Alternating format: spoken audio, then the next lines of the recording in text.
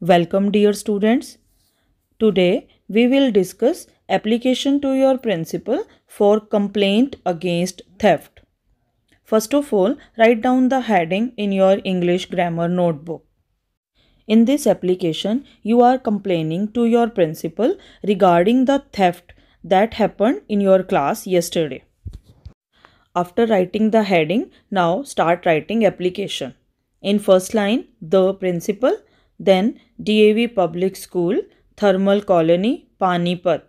Then date. Subject, complaint against theft. Respected ma'am, I wish to say that I am a student of class 4th. Write your own section here, like 4th A1, 4th A2, like this. Then Yesterday, someone has stolen my pencil box during recess when I went out of my class with my friends. When I returned after the bell, I found my pencil box missing. Kindly help me to recover the same as it is a gift from my father. Thanking you, yours obediently, XYZ.